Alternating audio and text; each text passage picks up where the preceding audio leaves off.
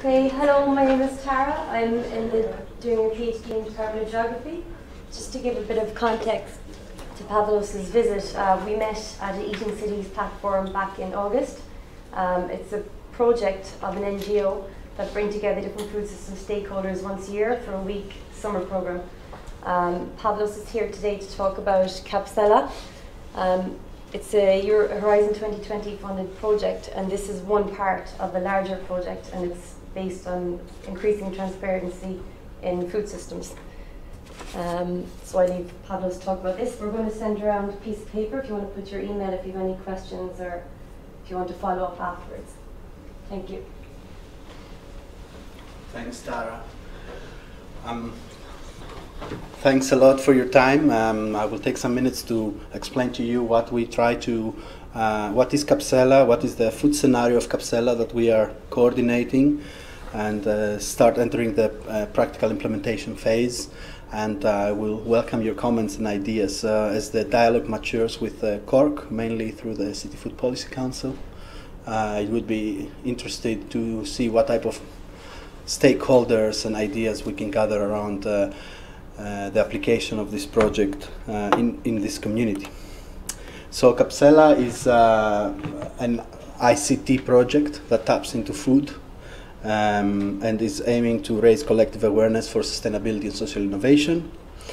Uh, it aims to leverage collective knowledge powered by crowdsourced solutions, uh, mainly open data systems and open technology systems, open innovation.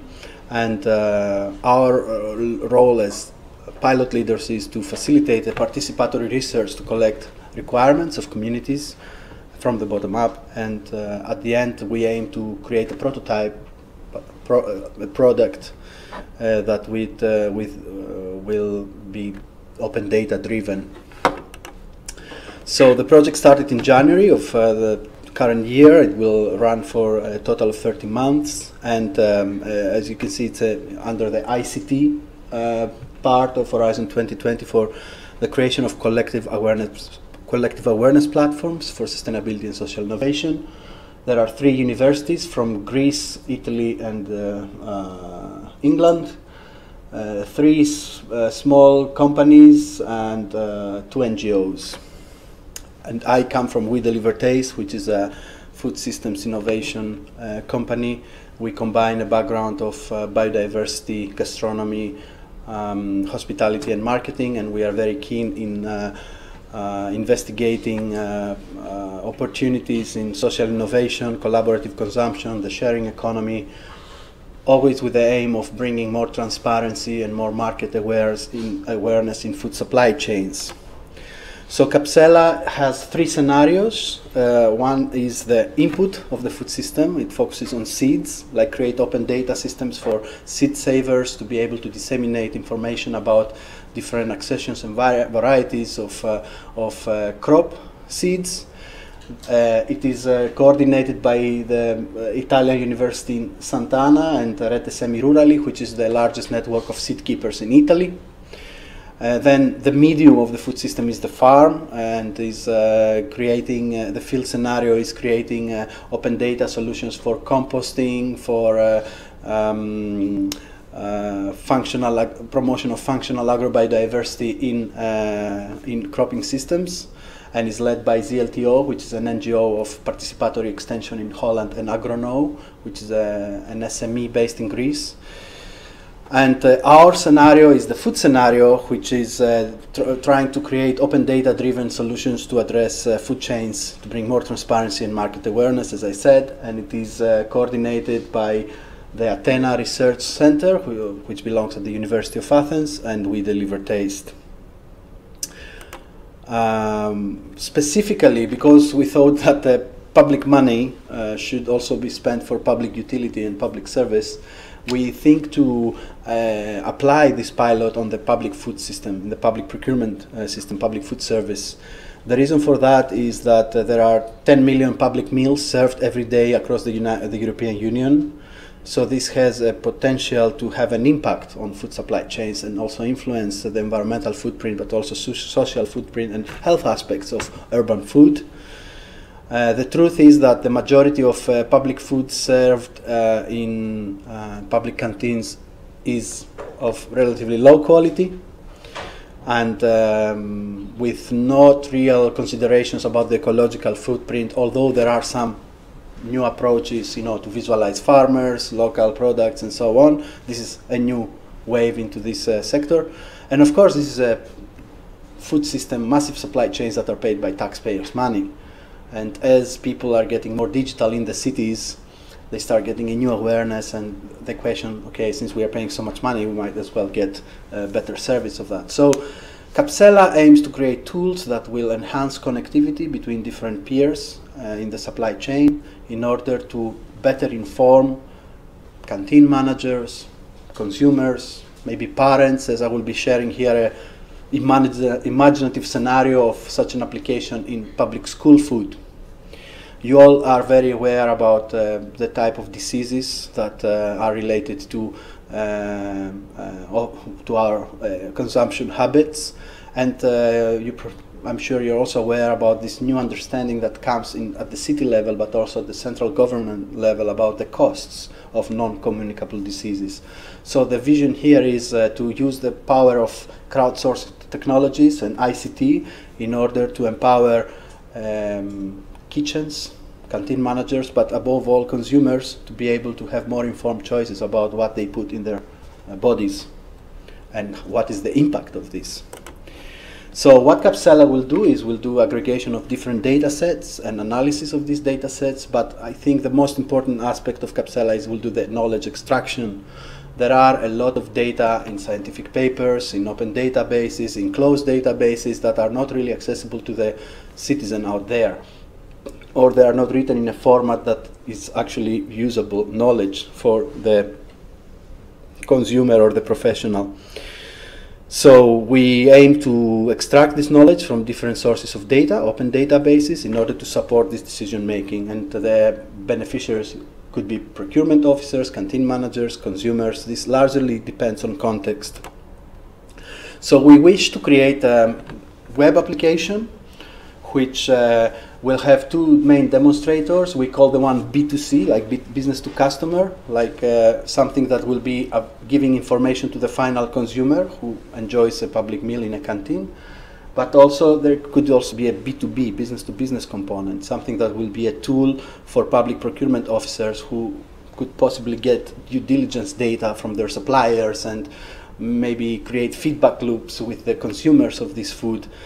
The bullets are not decided yet, but there are several aspects that are technically feasible uh, that we could visualize in this uh, uh, platform, the Capsella platform. We could, for example, uh, extract data from all the recipes and ingredients about the nutritional value of meals, uh, about the presence of allergens, about the origin of ingredients, uh, about the environmental footprint, food miles, and so on.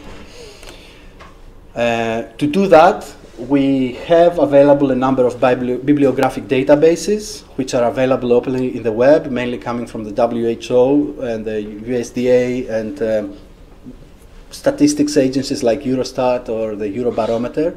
So there is a wealth of knowledge and data out there that could be aggregated to create these utilities.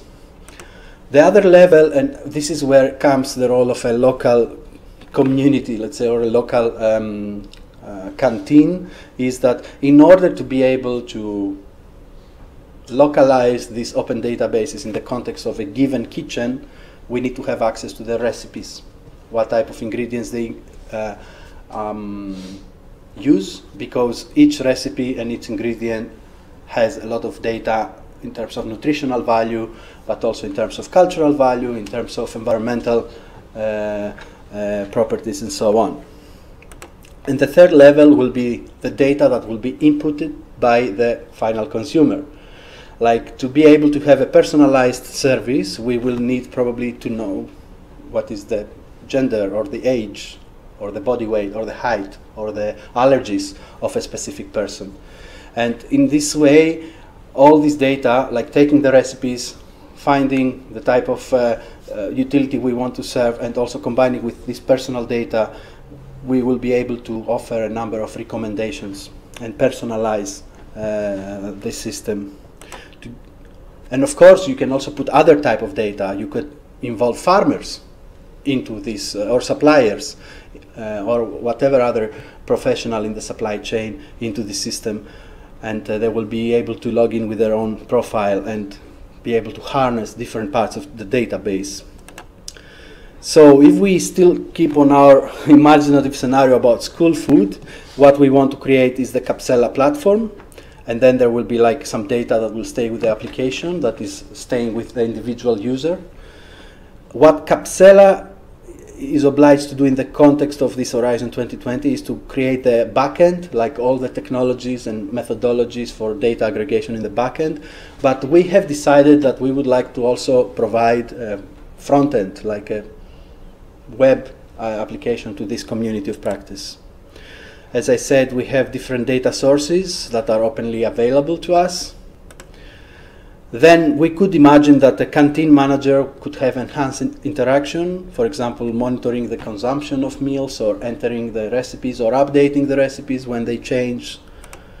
Possibly there could be some sort of interaction with the suppliers.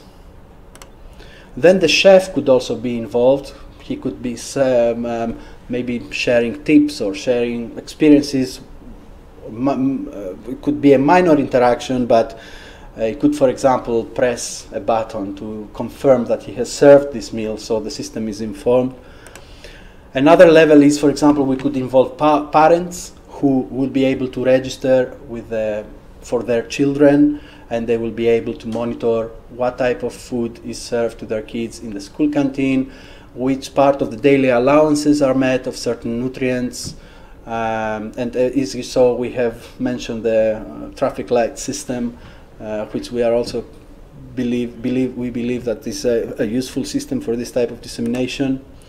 We could even imagine of having kids, like now kids also have access to mobile phones or, uh, or the web, or in collaboration with their parents, they can like at least check in physical space at home, like about the consumption of certain foods at school and actually make public food a, a topic of discussion at home.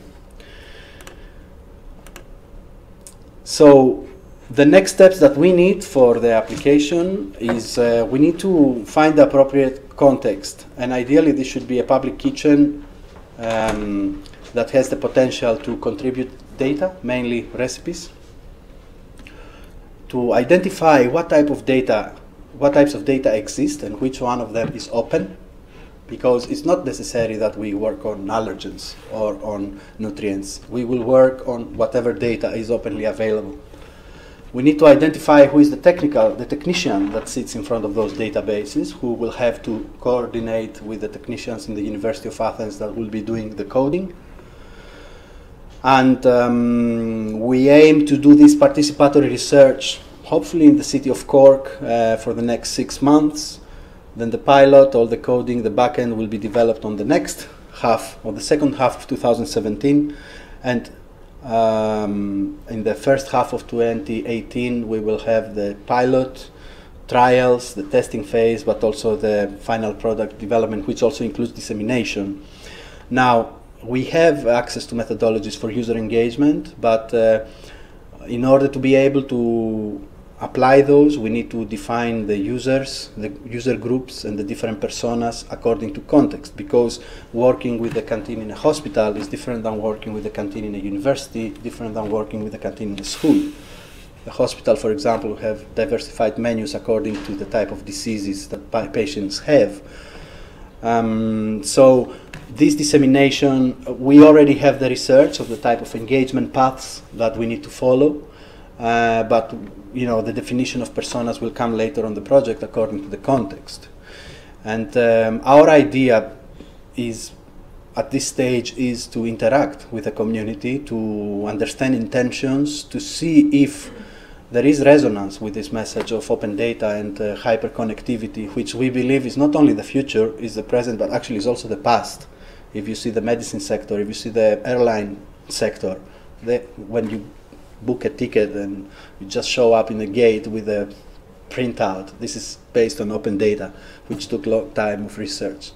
So this is what we try to facilitate at this point, and our position is kind of awkward because we don't really have a prototype, and this is uh, what is motivating and inspiring, and this is probably why it's innovative. it's not here yet, but um, our idea is to open this process to the community and um, get feedback, try to understand what data can be shared, and build uh, a scenario around this data.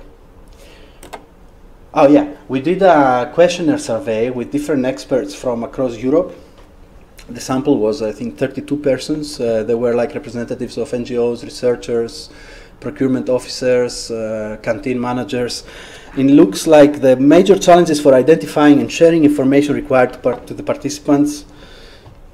The major difficulty is to get information about food waste management, about the environmental footprint and ingredients, which makes a, a sense because a lot of this data is with uh, logistics, and logistics are known not to share data openly. People have access to dietary requirements and nutritional values. People have access to allergens. Um, relatively high uh, responses on traceability and if you see what are the current barriers to accessing information, the highest barrier is lack of connectivity between sectors. And this is exactly what Capsella tries to disrupt, to actually connect the sensors, the, the sectors. Then it's an issue of lack of data quality.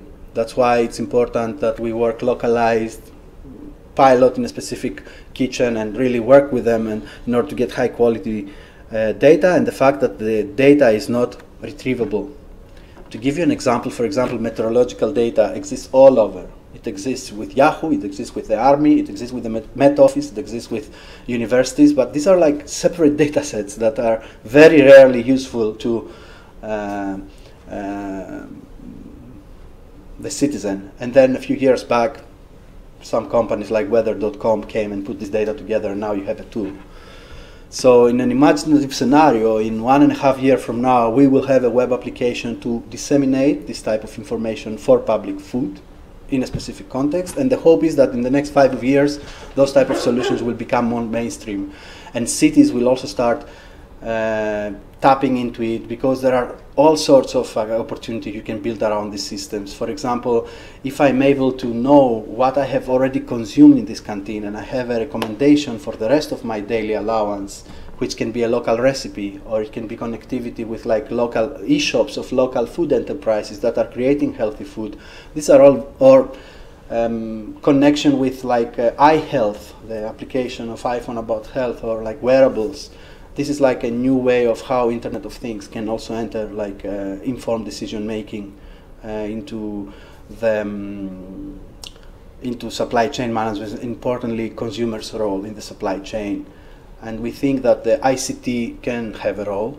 Uh, we keep hearing that, and um, for us the challenge is like to just find a, a pilot to work on that. And I think that would be all. I hope I didn't get too much of your time.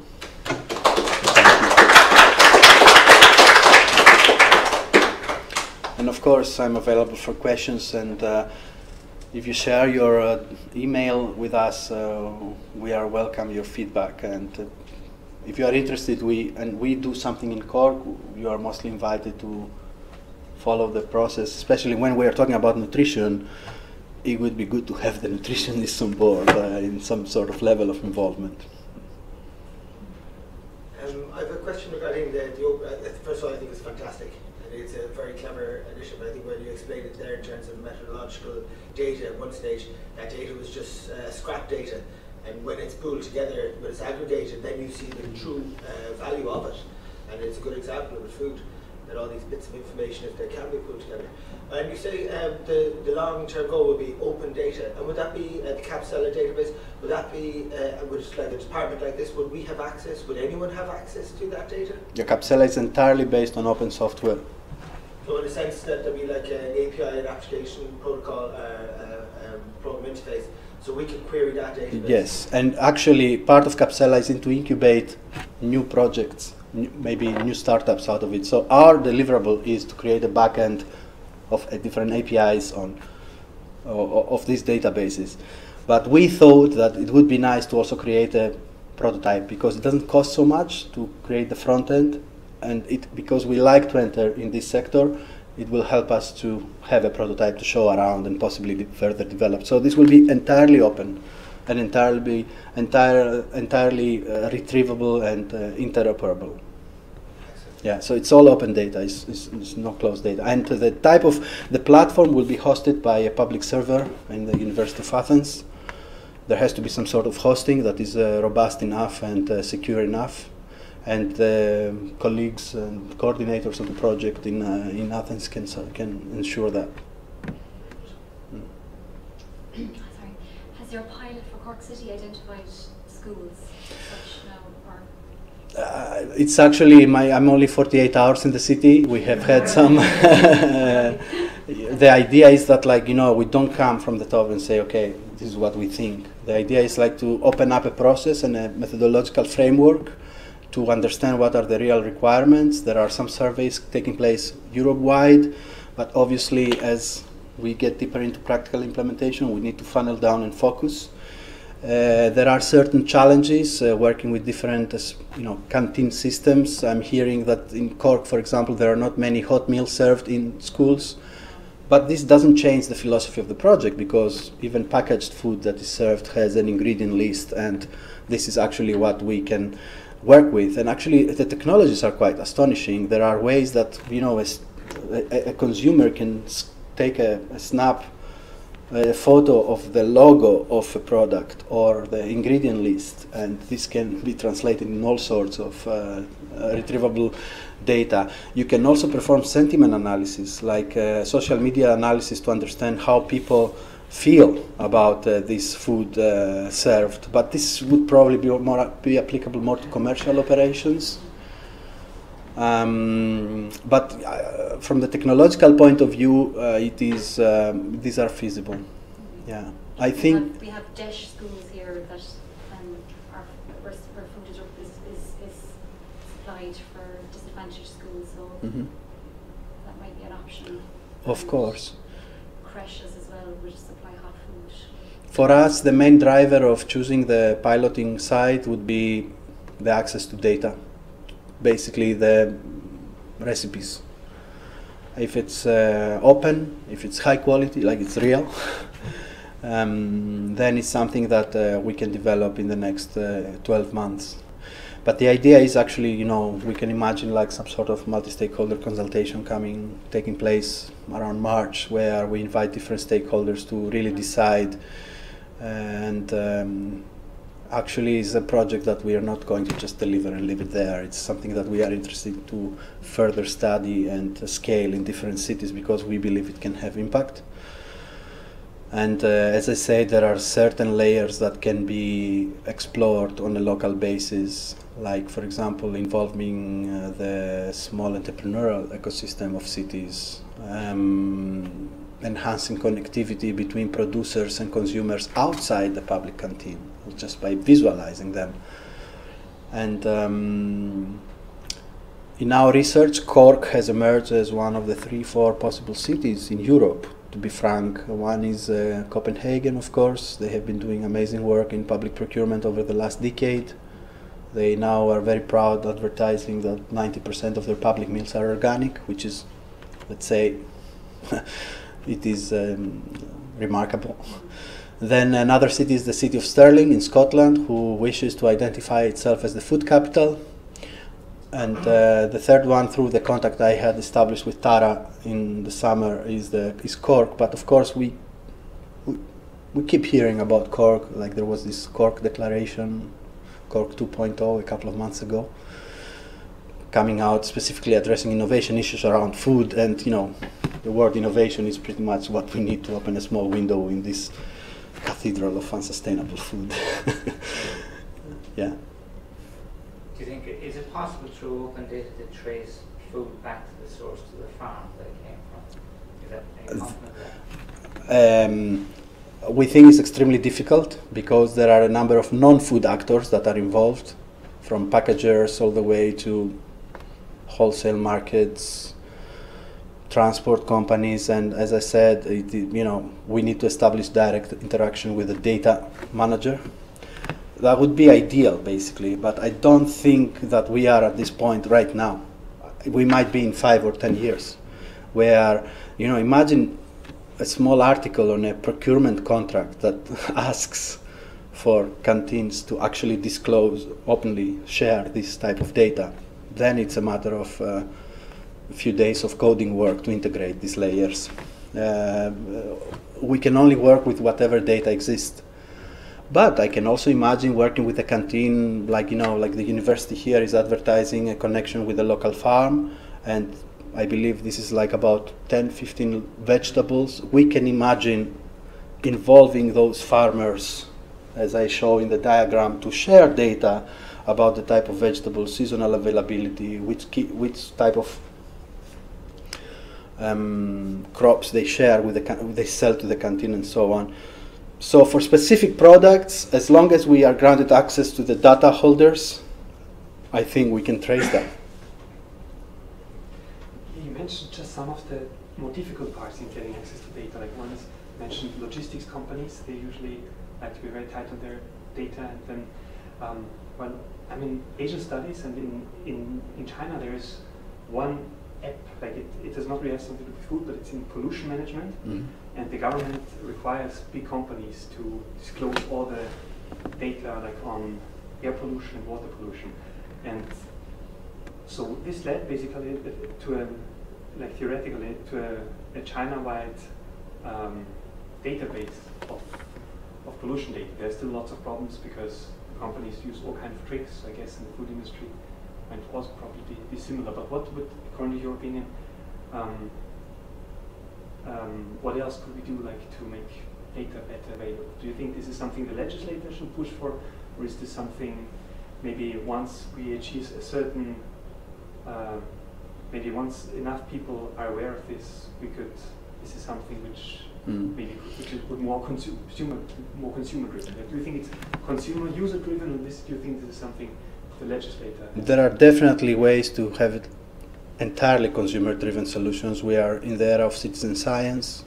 Uh, like citizens can have ways to co-design this type of um, um, data collection together with uh, experts. Uh, this is not the context of Capsella, uh, but I, personally believe that you know when laws are modernized to modern need to current needs, then they can unlock whole new areas of potential and uh, on the 18th of April, there is a new legislation passed by the European Union that mandates that the tenders are not only offered to those that bid the lower price, they should also have environmental and nutritional standards, which is a breakthrough and really diversifies who actually bids for that. Because right now, or until now, there were only a couple of companies that had the, you know, the volume to bid lower contracts. Now, one thing is that the EU legislation asks it, but as of now, I'm not aware of any tools, any assessment tools for companies or suppliers or procurement officers to assess the environmental performance, at least a mainstream tool. There might be local systems, local audit systems. I mean, in some ways, the, two questions that were raised there, I mean, around the, strike the very heart of the whole public procurement process and, and, and also the skills needed to participate in that process. Um, and, and ordinarily that's been driven by an obligation to take the lowest tender price that's being supplied by a contractor or would-be contractor. Um, now, uh, there have been some really notable examples uh, of where there's been increased specification uh, alongside price. And our friend from Ayrshire, uh, was also at your eating oh, cities, Robin Gourlay. Robin Gourlay. Oh, yeah. I mean, he led, for example, in East Ayrshire, um, a remarkable process of opening up uh, the tendering of food to schools, which was uh, ever since Margaret Thatcher had only been ever driven by the lowest possible tender price. Mm. And he began to identify local producers and help to aggregate them together so they could supply in sufficient volume and then you begin to specify, you know, locality as being a, a, requirement which addresses your, your concerns about origin and traceability and so on. You can begin to start to do that. Uh, but of course, most contractors supplying large volumes of undifferentiated material, nobody knows where it's from. I mean, that's the whole purpose. It's buds, as far as they're concerned. They're washed and processed and chopped in vacuum-ready bags and so on. So um, and although there's been some, some effort made by local authorities both in the UK but elsewhere in Europe and Italy and so on, here we've tended to be not have the skills or you know we've not shared the knowledge to actually take it further. And I think if there is a, another round of opening up by the Commission to say, look, there are further requirements for, for reporting beyond this issue of price, I think we, we need to put pressure upon our uh, procurement officers, particularly in the public sector, to, to be looking at those specifications and to, to find ways that we can increase, because that will open up possibilities then for new suppliers to participate in that market, uh, which should stand to the benefit of all of us actually, because that will hopefully make things a bit more localized to some degree, and you know perhaps bring in others like organic suppliers and so on and so forth. So it's, it's a welcome. Let, thank you. Let me emphasize that um, this is a research project. It's a research action. So um, it is not really. Uh, there's not really a, a high intention to.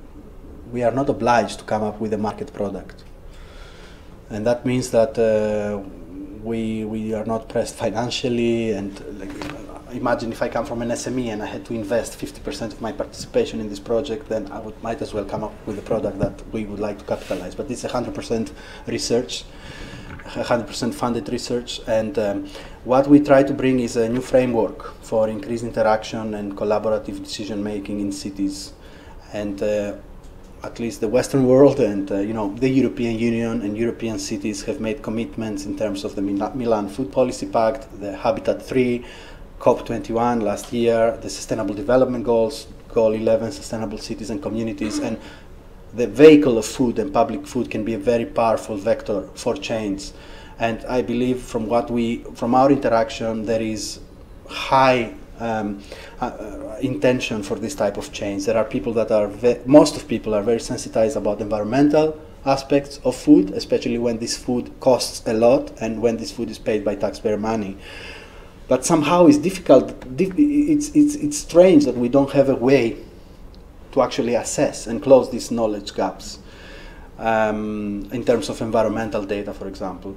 To tell you the truth, when we send this proposal to communities, we need to be very focused. We need to be also very wide, and uh, we chose the issue of uh, to, of school food to demonstrate that because school food is also kind of emotive, and it might uh, you know trigger different responses because one thing is talking to the academic community, other thing is talking to the, the catering company or the canteen, the, the, the, lady that like issues the, the in the till of the canteen. It boils down to that, you know. Uh, it's different uh, to, to, speak to the Commission at the highest level, the European Commission, and uh, we just need to find entry points. And uh, for us, the simplest way is like to just ask something very simple that doesn't require too much effort. Something like, would you like to share your recipes with us? Just this. And then uh, keep stakeholders in the loop and ensure that the whole decision making and process is developing transparently. Yeah.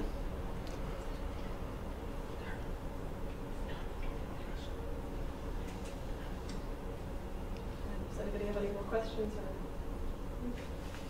like looking from the public health angle, because our department is public health and epidemiology, so you, you, you are trying to map the food environment in a sense at the, at the individual level because you're looking at parents and kids, and at the environmental level looking at the recipes at different settings, community settings as well as retail shops. I don't know whether they're going to retail shops and collecting data, uh, retail shops, supermarkets, or just uh, the open access data. So if you come down to POC, I don't know uh, what kind of data we will you be able to access?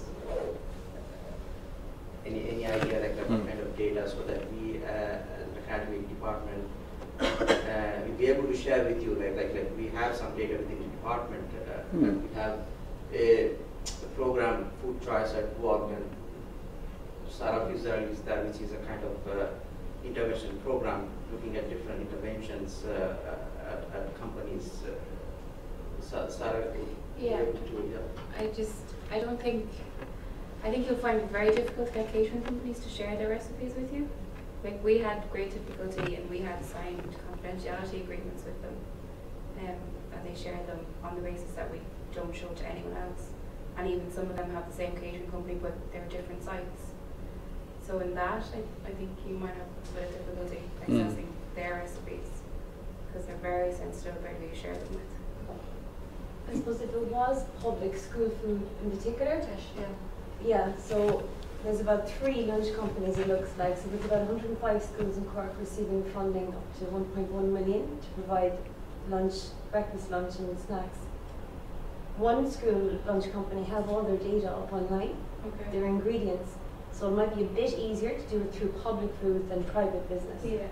And then other schools go directly to Centra and get their sandwiches and do a deal there. So it might be a bit, easier, or maybe not. I. I think it would just be depending on who you approach. yeah. So there's a lot you could learn from. I was telling you about the food choice at work. Uh, Mm. I said there's a lot you could learn from the interactions you've had. This is, you know, the, as I said, the role is not like to come here and say, "Oh, we have this idea, let's do it." It's like to really investigate what are, what we can work with. Now, to come back to your question, I don't think this is relevant to retail. We have to work, yes, with the people, with the companies that serve, uh, or at least the entities that control the contracts related to serving food. Um, there are certain limitations about the private companies, of course, sharing data, and uh, I can. Uh, I think we must be extremely lucky that we actually enter in a context of negotiating and getting out of it with uh, some sort of data. But uh, I'm wondering whether there is a, a context, wh- whatever small or big or large, that this could be applied. And for example, you know, eating in your canteen here in the university, for example, that uh, enjoys waving a green flag of sustainability, um, this is already for us, let's say, a small light coming in because these are the type of vehicles and narratives that we we have inevitably to base. And obviously, you know, what I suggest here is very, very focused compared to what we have proposed the Commission one and a half year ago. And I think we will probably ending up doing something even more focused according to the needs. So um, this is really, really very, very first time that we expose this idea to, you know, the collective intelligence and, you know, we try to understand the limitations. At the same time, we feel it would be extremely shame if we come here with a funded project able to offer a solution for free.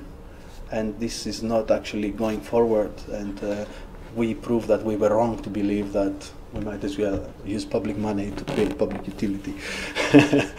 Because obviously it would be easier for me for us to maybe work with a fast food delivery company in Greece where they would like to have increased interaction with their clients and all this but we happen we're still convinced that uh, it's worth pulling you know this this uh, the, the, the train towards this direction yeah and it's worth mentioning as well what you suggested there. The department has adopted a, an open uh, data policy for a long time now, and the Centre for Health and Diet Research is the exact same within the department.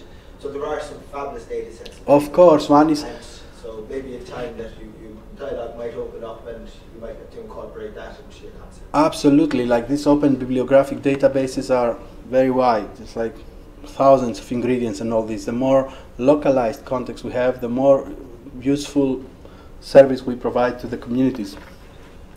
To the community, and for us, what we want to come out of this project is with a methodology on how to do it. And this is the bulk of the effort.